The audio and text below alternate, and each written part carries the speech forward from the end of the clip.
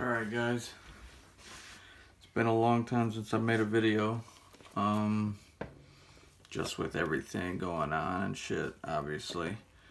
You guys know what the fuck was going on. Um, just been really busy, but, so today, this thing has been a long time coming, this video has been anyways, uh, I was talking about it for, in my last video I think, I said that I was gonna bring it out and do a review on it, but it took a minute for me getting it, and I finally, like, everything's up and good, and I got it, and I uh, tattooed with it a couple times, um, but it's the Bronc V10, so I'll let you guys check it out.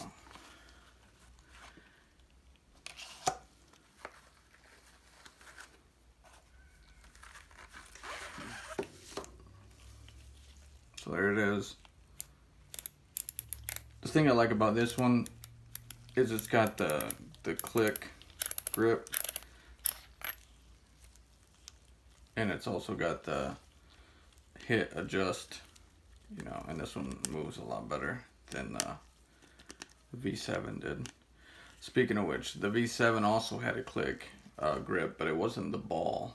It was the little plastic piece uh, but I like the ball better. It just, it clicks better and it, it's just smoother in my opinion, but, um, so that's that, but also, so I'm going to give you my opinion on this, okay?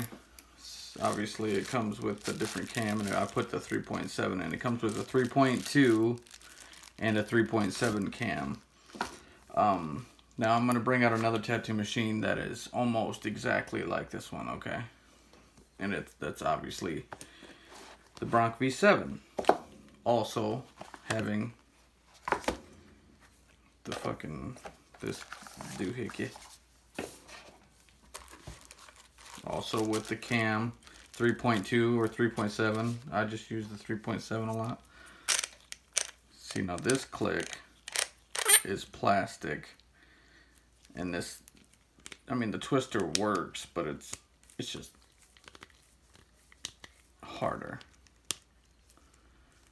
So, I'm going to compare these right next to each other because they're extremely similar in how they're made.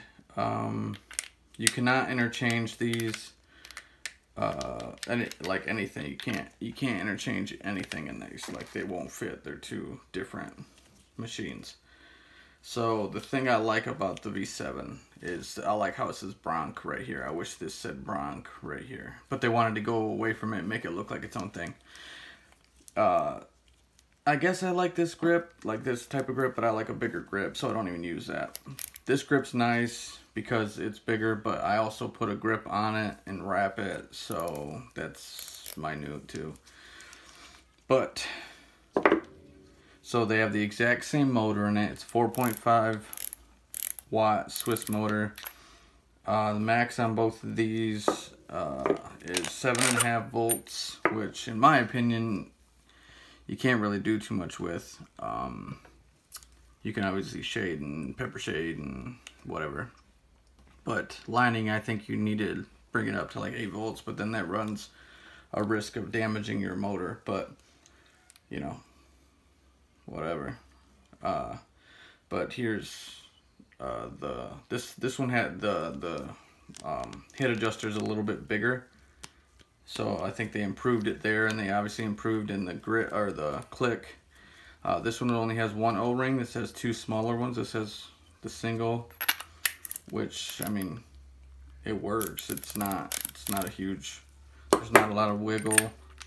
This one obviously has no wiggle at all because of the two, and it's just, so that's got a plus. But they're both the same price right now on the website. Um, I think it's like 258 something like that. But they're both the exact same price. Um, but let me tell you, if because these are extremely similar, like they're like the exact same machine, but not. Like this is obviously it's a newer one. So they've kind of got the kinks out of this one. This one's like this is basically like 4.7 version 2 basically is what the Bronc V10 is. Um, I love this tattoo machine. If you've seen my preview on it, I absolutely love it. So obviously I love this one. Um, I do a lot of uh, fine line stuff lately. Like I've done a lot, I do a lot of uh, pepper shading and stuff. If you check my Instagram out, it's um, the same as my YouTube, Adam underscore M underscore tattooing.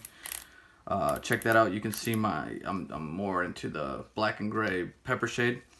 Uh, so this is perfect for that. This does everything I needed to do. Um, I was using this or I would use my V3.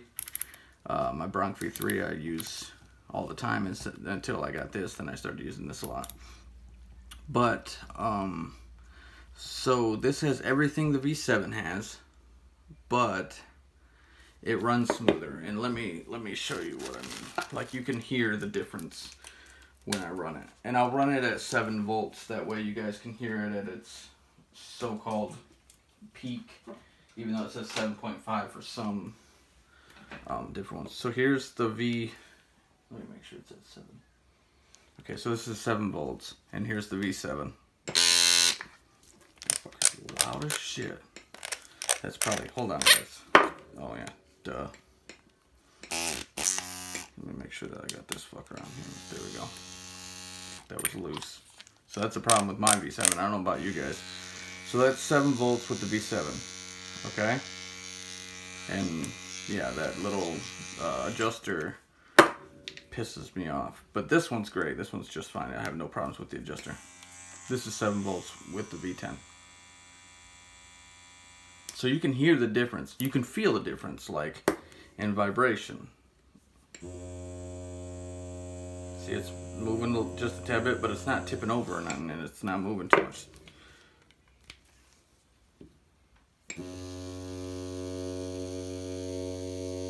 That one moves like a motherfucker and vibrates a little more. So this vibrates a little more. They're about, I didn't, I didn't weigh them. I should have weighed them. Uh, they feel about the same. I mean, the grip's a little bit bigger on the V10.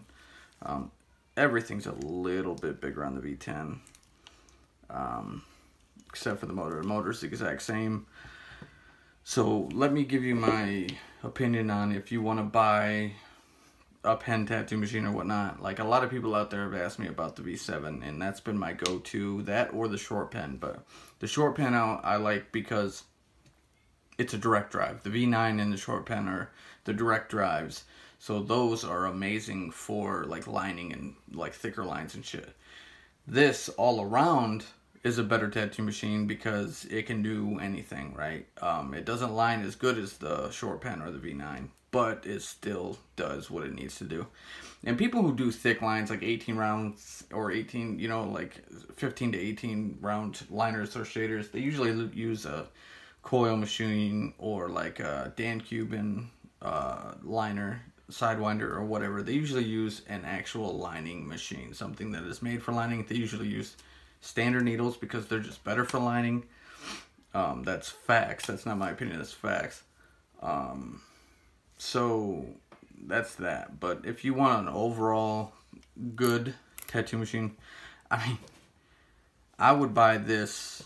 Let's say I had um, the 700 or whatever the fuck the FK Iron one cost. Let's say I had that uh, to blow. I had that money in my pocket and I was like, cool, I can either get that or get this and then have money for fucking uh, supplies. I would most definitely get this. This does what that does. I mean, it, it's it's not as pristine and like as big big a name and everything, but this this does everything I needed to. Like, so I mean, a lot of people have done like side by side with this and the uh, FK. Like obviously it's it's got they spend more money on parts and more money on shit, so it's gonna be built better. But that's that's what happens when you spend more money. You gotta you get better parts.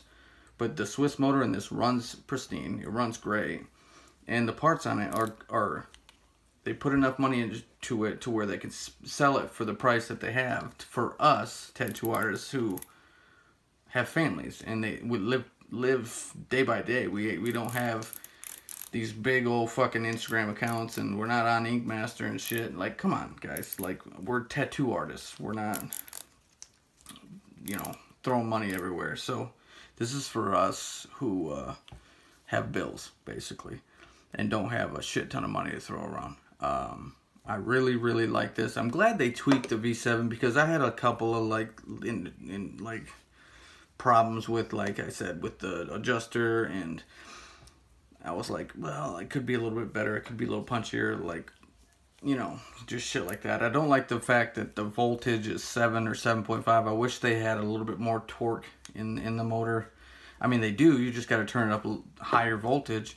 Now, I've I ran this at 8.2 to line, thicker lines. My my 3, 5 run liner, I, I run at 7.5 and it's fine. I just slow my hand speed down a little bit, which is fine. Um, and but when I run it at 8.2, it's not heated up. It's not nothing's nothing no problems with it. I think they just recommend that just so it lasts longer.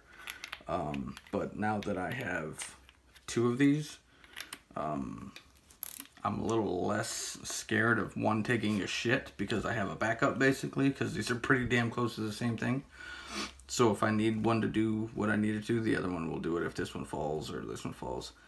So, uh, but back to what I would think if I was to tell you what to buy over which because they're they're very fucking similar. They're like the exact same thing, like I said many a time. Uh, obviously, they're the same price, so your best bet's to get the newer of the two, right? Like obviously, you want to get the 2020 model. You know, you if you're gonna get a car and they're the same price, you want to get the newest one, right?